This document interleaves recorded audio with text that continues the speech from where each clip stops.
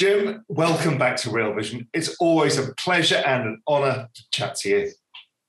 Well, it is my pleasure. It is my honor. I am a fan. Thank you. Listen, Jim, you're one of the people I love to reach out to when the world is getting pretty confusing. And I was trying to, uh, you know, we're all trying to think through what's going on. We've got this kind of crazy markets, and everybody's scratching their head trying to think, okay, how does this play out from here? How are you kind of conceptualizing this right now? What are you thinking about the markets? Well, if you don't know what to do, you should watch a Real Vision. They can tell you. they they can tell you what's I'm happening. Oh, you're too busy? Well, uh, then I get somebody to watch it for you. How's it all going to play out? Well, it seems to me that what's happening is because of the gigantic amounts of money being printed, you know, it takes a while to build a factory, but it takes 10 seconds to go online and, and invest. A lot of money is going into investment markets all over the world.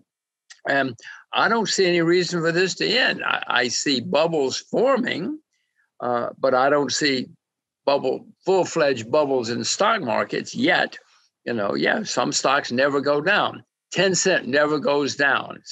Uh, Samsung never goes down. Apple never goes down. But there's still a lot of stocks that aren't up. So it's not a full-fledged bubble. It is a full-fledged bubble in bonds. Bonds have never been this expensive in the history of the world, at least the recorded history of the world. So bonds are definitely in a bubble. Property in some cities, Seoul is a gigantic bubble. Look around, there are cities where property is a bubble. Commodities, the only thing I know that aren't that are still cheap uh, compared to other assets around the world, uh, and some stock markets. I'm investing in China. I'm investing in Japan because the US is at an all time high, but some markets are still down from their all time high. So I want to unpack some of these things. So you said something interesting about companies like Tencent and Samsung. Do you think we've got a kind of secular trend change in how people value these kind of high growth, you know, high margin companies? Is there a change going on that we're having to get our heads around because the bond market basically is not a market anymore? Well, th- this is, you know, this is not my first rodeo, Raoul. I've seen this movie before. You know, many times people get very excited. I can remember in the late 60s, if it had computer in the name, the stock went through the roof, even if it was a laundry. Didn't matter, you know, didn't matter what it was. I mean, I've, we've all seen this before. We're, we've seen it in Japan, we've seen it in America in the late uh, 90s. Uh, this has happened before and it's happening again. Whatever the hot technology is of the day, those stocks, for whatever reason, get very, very hot. 150 years ago, it was railroads. You know, there was a gigantic bubbles in railroads. And you know, Raoul, railroads are still around, but you never made money in the stocks if you bought them in the bubble. You remember 1929? 1929, Radio Corporation of America, RCA, became unbelievably expensive. Well, we still have radio, like radio, you know, merged with CBS, et cetera, et cetera, it's still there, but you never made money if you bought it in the bubble. So be careful. You ask how it's going to play out. We've had bubbles before, we're going to have them again, and they always end badly. And if you buy the bubble stocks, you're probably never going to make money. Something that I've noticed this time around. Sorry for interrupting your video, but I have a very important message to share. At Real Vision, we pride ourselves on providing the very best in-depth expert analysis available to help you understand the complex world of finance, business, and the global economy. So if you like what you see on the Real Vision YouTube channel, that's just the tip of the iceberg. You should come to realvision.com and see how we're not leaving any stone unturned. From publishing more in-depth videos, live discussions, written reports, and our latest feature, The Exchange, where you get a chance to engage with experts, fellow subscribers, and learn from everyone's experience, which can't be wrapped in a video. It's an experience which you live and learn from. So if you go to the link in the description or go to realvision.com, it costs you just $1. I don't think it's something you could afford to be without. And I have them again, and they always end badly. And if you buy the bubble stocks, you're probably never going to make money. Something that I've noticed this time around, I mean, I'm noticing this bubble behavior build up, and we've seen, you know, retail speculative activity, the option activity. It's probably less so in Asia, but it's very predominant in the US. We're seeing mutual funds with record low cash holdings, and we're seeing record margin debt, all of the kind of big marker stones. They're not great for timing, but they they start to stack up. It feels that somewhere, maybe in the next 12 months or even sh- shorter, we run the risk of a sort of 1987 event. By that, I mean a non economic event, but a market based event because everybody's over their ski tips. Well, any thoughts on that? I was speaking to Felix Zulauf about this as well last week, and Felix had the same kind of view on this that it feels like it's heading that way. Well, it certainly does. You see a lot of new investors piling in, talking about how easy it is to make money, how much fun it is to make money. Gosh, I wish it were easy. Um, SPACs, you see SPACs coming in. SPACs often come in at the end of big long bull markets. You know, remember the Mississippi Land Company? I mean, the South Sea Land Company, that was 300 years ago. Same thing. They invented SPACs long ago. So all this has happened before, and it is happening again. Now, your question and mine and everybody's, when is it going to end? I don't see it ending yet, um, but something may well happen. W- one thing that always happens is they just get so expensive that it ends, or a central bank or two starts cutting back, or war breaks out, or something happens, and various and sundry things. But I don't see any of those things happen yeah, if everybody were buying stocks, you know, when you go to the dentist, Raoul, if the receptionist wants to talk to you about stocks, that's a bad sign. That's a very bad sign. Um, those sorts of things are beginning to happen. I went to for my chiropractor the other day, and the massage lady wanted to talk about stocks. Well, it wasn't the receptionist yet, but it's starting to happen. so here, yeah, you've got a lot of great stories. I'd love you to tell the story of 1987, how it affected you, your observations at the time, and how you dealt with that. Because I just think experience is really important for people. Whether that event happens again or not is irrelevant, but I, I think it's really great for people to share some of the experience that you learned. Well, I'm I'm I'm delighted to talk about that one. One of that I've had a, a few winners in my life. That happened to be one. I don't know if you know, but I was short the U.S. market, and it all happened on my birthday. The best birthday, uh, oh, best birthday, October 19th was my birthday. Uh, couldn't believe it. I'll never Still forget that now, Jim, because I know that yeah, date. I won't either. I won't. I, a, I don't forget my birthday, but B, I don't forget October 19th, 1987. You know, I'd been babbling on and on and on about how this was all crazy and out of control and that Greenspan didn't know what he was doing. And then it started happening. It started about six weeks before. Uh, I mean, how did I know that the thing started coming apart six weeks before October 19th? But then it did. You had all the things, people buying on margins, speculating. It was very easy. Stocks went straight up for nine months or something around. You've been around. You know these things have happened before. And what tipped it that time? Because that was a weird one. Because the central bank didn't raise rates. I mean, bond yields were going up, and the dollar was bouncing after falling sharply, and you know those kind of things. Any idea what tipped it, or was it just the crowd? It just changed.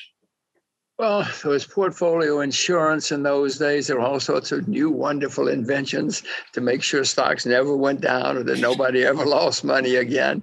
Um, I don't remember a specific trigger. I do remember that it started like August 25th because I was having dinner with a friend of mine, the head of the Wall Street Journal at the time, and we were talking about it. And I was telling him, blah, blah, blah. And lo and behold, that was today. He still remembers. I still remember. But I don't remember anything specific happening uh, that, that caused it, just that it got too overheated. You don't have to have a specific ringing of the bell or shooting of the pistol, but it can happen that way. So let's flip a bit to the bond market where you said there is a huge bubble that's been built. How does that end and why does it end? Because the central banks won't let it end, um, essentially. We've seen it in Japan. They can buy unlimited amounts of bonds. I mean, how, how does this stop? And they are buying. And the head of the central bank says his word is we will print unlimited, that's his word, unlimited amounts of money and put it in the investment market. And he's doing it. Raoul, he buys ETFs every day. Well, I own Japanese ETFs. He's got more money than I do. If he's going to buy ETFs, I am too. And, and you know, the Japanese market is still down 35% from its all time high. The US market is making all time highs. There's a chance, I mean, I don't know, you watch Real Vision, they'll tell you, but there's a chance that the Japanese market may go back to its all time high of over 30 years ago because of all the craziness that's going on in Japan and in the world. Uh, I do not know what the trigger will be. Um, I, I, you, I can feel what's happening. I see all the signs. We've talked about some of the signs, but it's not as though there's total madness yet. As I said, there are a lot of stocks that are still down or still aren't participating. Now, in the bond market, everything is participating junk bonds, foreign bonds, everything. So, unless you have a special situation bond, I would not own bonds anywhere in the world. I do own, full disclosure, I own, do own some Russian government bonds in rubles, but they're short term. I mean, they're a year or two. When you're allocating risk now, what are you looking for? You've, you talked about Japan a bit, and I understand. You, a, you've got the central bank on your side, and B, it's a discounted market and it's not wildly expensive. Well, what, what else is interesting to you right now um, where you're more comfortable taking risk? Well, I will be buying agriculture. In fact, I have orders in at the moment to buy more agriculture because agriculture is still very, as I said, commodities are the only thing that I know that are still cheap. Uh, you know, silver's down very, it's down 45% from its all time high.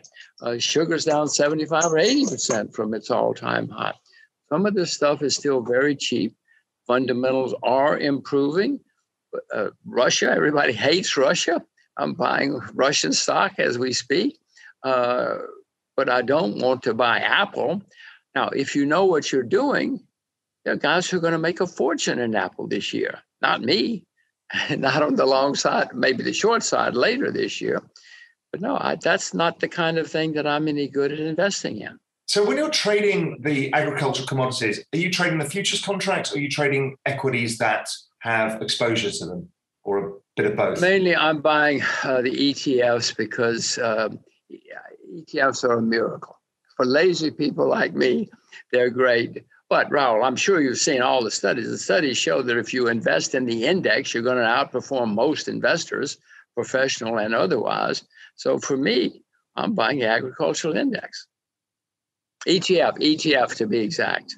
What about gold and silver? You mentioned silver. They've had a kind of slightly ugly year. They've been, you know, gold has been chopping lower for, you know, six months or so and can't really get its traction. What do you think gets that market going again? And the mine, the miners as well, which are very cheap, have been struggling. Well, I uh, have not been buying and, and probably will not buy. I'm waiting for the correction to work its way out. I, listen, my market timing is horrible. I'm the worst market timer in the world, Raoul. So don't don't listen to me for short-term trading. But somewhere along the line, I hope that I'm smart enough to buy more silver and more gold, probably more silver than gold because silver is down 45%, gold is only down 10% from its highs. So no, before this is over, Raoul, both of them are going to go through the roof because whenever, I mean, history shows that whenever people lose confidence in governments and money, all of us peasants buy gold and silver. I'm listen, the politicians and the academics say, oh, forget gold. It's it's a barbarous relic, or whatever the term. But Raoul, peasants like me like to have some gold in the closet. We like to have some silver under the bed because we also peasants know, okay, maybe it's not any good, but we want some. But I'm not buying it now. I mean, I own a lot, but I'm not buying now. And have you ever caught the Bitcoin bug? Have you got an interest in that yet? I mean, a lot of people have started to get very interested. I mean, I've been very involved in it for a long time now. What's your thoughts on that? Well, I obviously wish I had bought Bitcoin. Um, however, I will point out that many cryptocurrencies have already disappeared and gone to zero. We all hear about Bitcoin. We don't hear about the dozens that don't exist anymore. There's no question that money is going to be on the computer. Uh, you cannot take a taxi in China with money. You cannot buy ice cream in China with money. You got to put it on your on your phone. Um, so some countries, every country is working on it, including the U.S. Chinese are ahead. But Raoul, my view is it's going to be their money if let's use Bitcoin. If Bitcoin ever becomes a viable currency, not a trading vehicle, but a viable currency, they're going to outlaw it. Governments don't want to lose control. They don't. They like their monopoly, and once they all have their own government money, you think they're going to say, "Okay, here are U.S. dollars, and they're on the computer. But if you want to use something else, you can." That's not my experience with governments at any time in history, or, well, most times in history. And I can't imagine the US government's going to let people do that. No, I mean, a lot of people now try not to think of Bitcoin as like a replacement to currencies, but more as a store of value, like gold plays, but in the digital world. So, in which case, you know, the authorities, yes, occasionally they ban gold here and there, but generally speaking, they kind of allow it to exist alongside, um, saying, okay, if you want a store of value, that's okay, just don't let it become money. Well, as I said, if it's just a trading vehicle, I don't see any reason that they would outlaw it unless it's money laundering or something like that. Uh, no, if people aren't trying to use it to compete with government money, why not? I, I, I know I'm not a very good trader, so I can't imagine that I would ever try to buy and sell it. But there are plenty of guys who are very good at it who are doing it.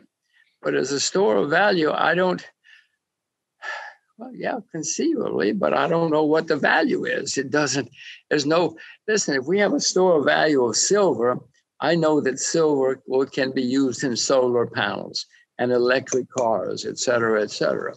I don't know what Bitcoin can be used as except for a trading vehicle. One of the things that I'm looking at is the underperformance of emerging markets versus developed markets, uh, particularly versus the US, right? It's all time underperformance. So when we talk about cheap, some of these markets are, are really, really cheap in comparison. They're not super cheap in price terms, but generally very cheap in comparison. How are you thinking about emerging markets? It's got to be on your radar screen. I mean, you're a big emerging market fan and you obviously allocated some cash to Russia, but what are you looking at in that? Do you think there's a big opportunity setting up? Oh, I know there are huge opportunities. I mentioned Russia, which I, most people consider an emerging market, China. I'm buying Chinese shares. Japan's not an emerging market. It, it, will be again someday, um, but not now. Um, those are a couple that I have on my list. Um, I, I, oh, I'd like to be buying Myanmar, but cannot do it now. You have to go there, which is not. I'm not interested in going to Myanmar at the moment. Uh, I'm looking, but I don't have anything other than maybe Russia and China that I'm buying at the moment. Have you? We talked last time we talked. We chatted a bit about India, and you were like, "No, you know, you've been everyone gets burnt in India because it's full of promises and no answers." How are you thinking that one through? Because I mean, it just still keeps going up. I mean, that's the uh, regardless of all of the government and the bureaucracy and all the other terrible things that go on. Well, it's at an all-time high. Yes, I mean, I, I again back to my earlier statements. I'm not particularly interested in rushing out. You know, you want me to tell you things about 20 years ago? Well, I don't want to waste your time, and you don't want to hear it. Uh, but you want to hear what I'm buying tomorrow. You want to buy what you want to know what I'm buying next week. Uh, India's not on the list at the moment, but if you drive it down 50%, it'll be on the list again. Now, you, you're in a unique situation being in Singapore. The world is very kind of Western news centric right now. What do you feel the mood is on the ground in Asia? How does it? How, how are people in Asia thinking through? Because they generally had a very good COVID you know, they managed it well. Um, economic growth is returning faster than elsewhere. Um, there's a lot going on in the region. What, what's the sense on the ground there in what people are thinking? Well, one of the main things that I sent and, and uh, is happening is, you know, the, the America, Donald Trump pulled out of Asia. He pulled out of the Trans-Pacific Partnership, uh, and everybody China said, "Oh, wait a minute, that leaves Asia for us." And then a month or two ago, there was another 15 nation trading partnership without the US, uh, including a lot of our allies like uh, Japan, Australia, places like that. So they're moving on here. Uh, America, I hope somebody in Washington is now saying, wait a minute, we better do something.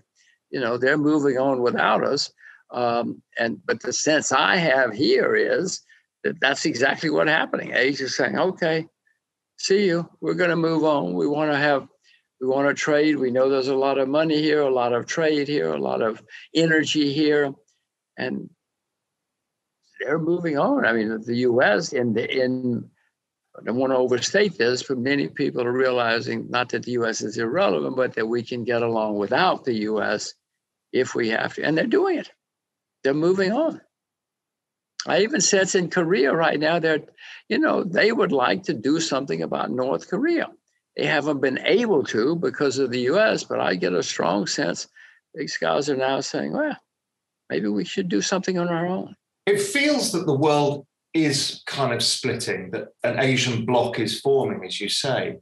And they see everyone seems quite comfortable with it. You know, one of the issues for everybody is inter Asian trade was always in US dollars, which is crazy. They say that too. And the Chinese digital currency is the start of, the, of a big change, I think. I noticed in the last uh, few weeks or days that Angela Merkel is saying to herself more and more, we got to be nice to the Chinese. You know, Mr. Trump smashed the Chinese, but we wait a minute, wait a minute. We we should be doing business with the Chinese. Even, you know, the guy, the prime minister in in England today said, I love China. I'm very, very keen on China because he's starting to get the, the pushback among companies in in England. That, Wait a minute, what are you doing? It's the largest, the second largest economy in the world. You know, huge creditor nation, etc. Uh, I'm beginning to sense that other people are starting to say, Mr. Trump can bash him all he wants. The Democrats can bash him all they want, but we know where our bread could be buttered. Yeah, it feels to me, I, I, get interested when the narrative is all one way. And the narrative, particularly in the US, is extremely China negative. You know, and it's from both sides, you know, both sides of the political spectrum. And that often feels to me like an opportunity. When the narrative has gone too far one way, I mean, you see the, the continued growth in China, the continued rise in you know what's going on, the technology, the amount of money pouring in from the government and even from foreign capital, it feels that people are going to get politics confused with markets. Well, throughout history, when a country has problems, the politicians blame foreigners. And that's what Trump was doing. He was saying, ah, those evil yellow people with black eyes and black hair, and they speak a funny language and funny food and funny clothes. Yeah, that's what, foreign, what politicians always do, Raoul. Go back and read history. All, not just America, everybody, all politicians throughout history blame foreigners when they have a problem and they try. It's easy to blame foreigners for many reasons. And that's what Trump was doing. And he certainly raised the rhetoric, and the Democrats joined in I, I sense that the Democrats at the moment anyway are saying, wait a minute, guys, let's, let's, let's start over or let's think about this for a while. But certainly other countries in the world, I get a strong sense are starting to say, well, maybe, maybe we can figure out a way to do something about this. Um, one reason I'm interested in buying Chinese shares, they are below uh, U.S., uh, below most other stock markets, and certainly on a historic basis. And they don't have, they certainly seem to have handled the virus much better than most most countries did. If you, I mean, I, I don't believe any government, but I see on the internet, I see what's happening in, in in the streets and in the restaurants and the people. I see they're going to dance halls and gym classes and everything else. So the Asians seem to have done a less bad job, especially China. And the rhetoric, I mean, this kind of crazy rhetoric has happened throughout history, and sometimes it has led to war, shooting war, not just trade war. Let's hope it doesn't happen again. But I'm investing in China. Yeah, I mean, you know, you were actually a huge influence on me when I read uh, Investment Biker for the first time. And I just started out in investment banking in the early 90s. And it made me realize, and I think you really got people to think about this, is that what you hear is not necessarily the truth. What you see when you go there, speak to people, that's more cl- closer to the. There is no truth in financial markets or economies, but it's closer to the truth, and and that I think that was a huge lesson I learned from you. Well, it's a huge lesson I taught myself. I learned from me too by going. First time I went to China in 1984, I was just assumed I was going to get shot. American propaganda all my life. It said they're evil, vicious, bloodthirsty, dangerous, poor, disgusting people. Didn't take me long to see from the ground up. Wait a minute.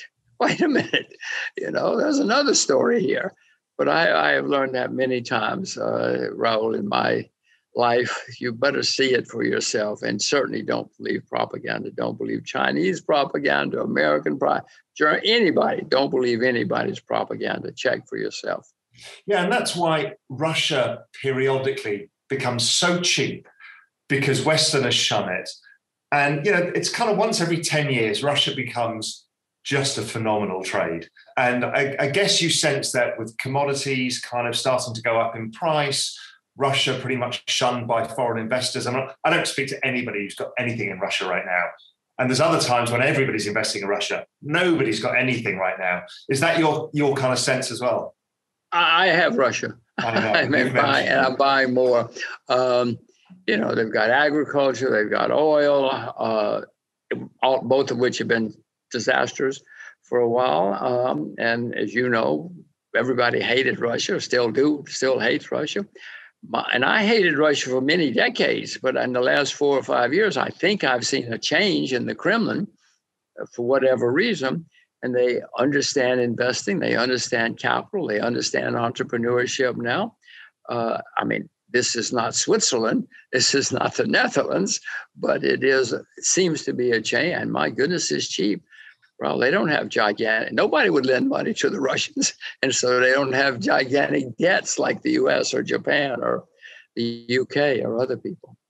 Uh, what about in currency world? Anything interesting, or are you just thinking, well, the dollar probably slowly falls? I mean, how are you? Anything particularly interesting? I don't personally, I don't find a lot interesting in currency world, but I don't know if you are seeing anything. My view is that there's going to be turmoil sometime in the next year or two, big turmoil uh, for reasons we discussed earlier. And when I, whenever that happens, people look for a safe haven.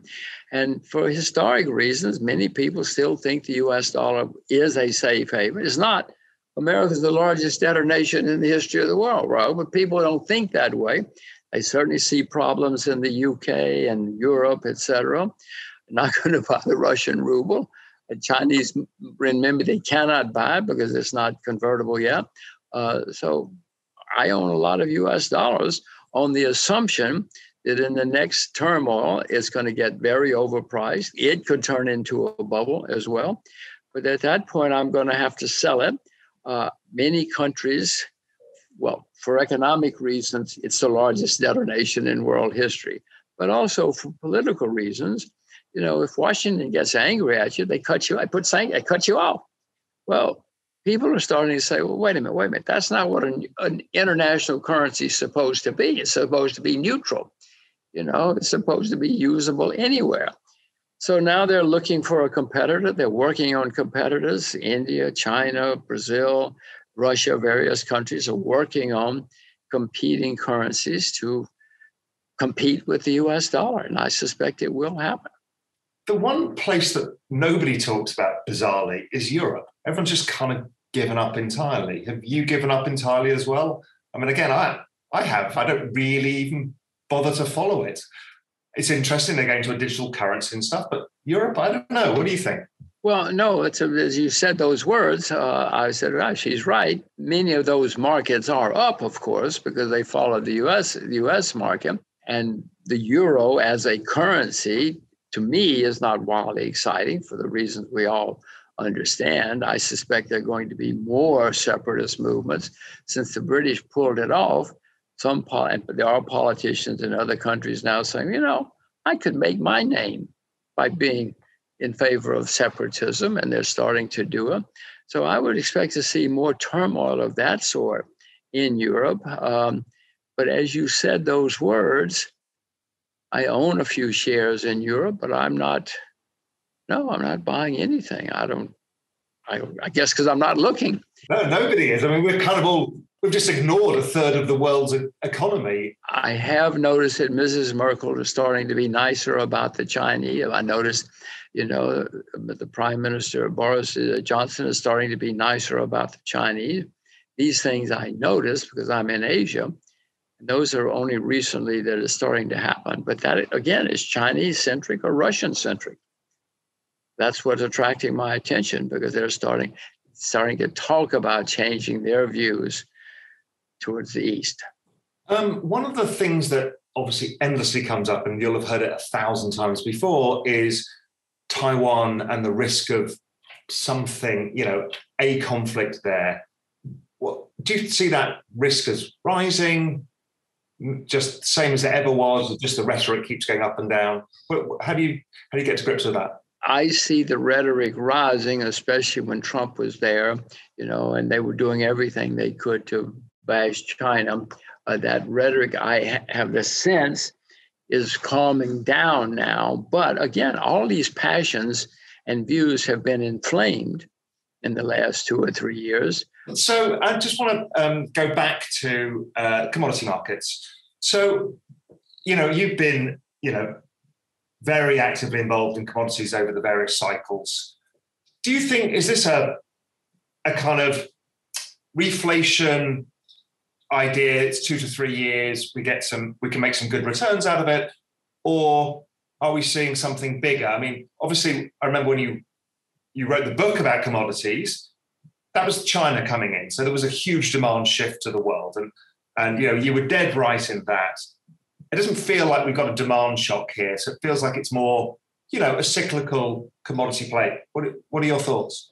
I'm starting to see a lot of people talking about a, a new super cycle in commodities. I wish I, I wish they weren't saying that, you know, because when we get a lot of people bullish, it worries me. I don't like that. Uh, I wish they would still say, "Oh, it's crazy." I do know that on the supply side there are many problems, partly because of the of the virus, and I do know there are some demand shifts. They, you know, we're all going to have electric cars apparently. Well, electric cars use five times as much copper as regular cars. You know, some of the stuff like zinc and lead, they need it. Silver, they for solar panels, for for electric energy, you need a lot of these things. So there are demand shifts taking place. Nothing like the, the coming in of China 20 years ago, but these things are, there are things happening, and the supply side is down because of the virus and the problems it has caused. So I'm bullish. I'm, I'm long commodities. I hope I'm buying some more yesterday. I don't know. I'll have to see um, what's happening. Uh, but yeah, no, I'm certainly not selling. There is also the upside chance that these fiscal stimulus that are still to come, not the ones to get rid of cash flow problems over the virus, but the infrastructure projects that both the EU and the US have talked about. And they're generally going to be green infrastructure projects, I'm guessing. That could be a demand shift that nobody's really factoring in yet, particularly in some of these commodities that, you know, it's not iron ore this time around, as you said. It's silver and copper and other stuff, lithium. Yeah, it's the things that people use for electricity. I mean, it, electricity's been around a while. We're not reinventing the wheel here. We're using it in more and more demand intensive ways, or so it seems. Uh, yeah, no, I see it, but I also see the thing. I mean, oil is down gigantic amount um, for various and sundry good reasons. But that too, I mean, if you ask me, oil is making a, a complicated bottom. The frackers came in, huge bubble, but now that bubble popped everybody, it used to be, well, if you could spell fracking, people would give you money. would give you all the money you wanted. But now they realize, oh my God, you got to make money, got to pay your bills.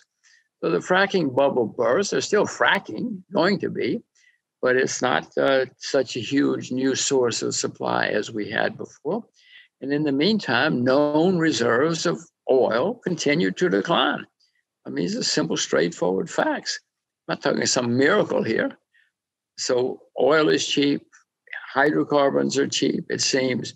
So maybe anyway, commodities are certainly the cheapest asset class I see right now. And final question silver, which you've mentioned a couple of times. I know a lot of people are interested in silver. We talked about ETFs, you know, just getting exposure to the metal itself or owning physical metal yourself. Do you look at silver miners as well? Is that something that kind of interests you, or do you just keep it simple? I'm lazier than I used to be. Uh, if you have, uh, I've always been very lazy, but if you have a silver miner, send me an email and I'll look at the name and gold miners. But again, you know, Mark Twain, who was a great American writer, as you know, once said the definition of a gold mine is a hole in the ground with a liar standing at the top. Uh, there are hundreds of silver and gold miners in the world. There's only one of these. So, so it's simpler. Keep it simple, stupid. Yes, it's simple, easy to buy the, the ETF or the stuff the real stuff. But if you know, Raoul, if you know a silver miner that's going to find a big deposit in Berlin, you should buy all you want and send me an email. I want to buy it too. You'll make a fortune, you know. But unfortunately, there are hundreds of those out there. And you don't know who's telling the truth. Uh, yes, I'm keen. I'm keen. I'm keen.